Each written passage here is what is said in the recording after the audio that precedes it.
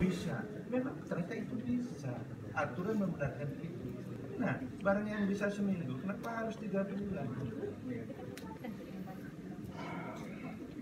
Ya kan? Nah ini ini ini ini ini sebagai ini coba pembelajaran.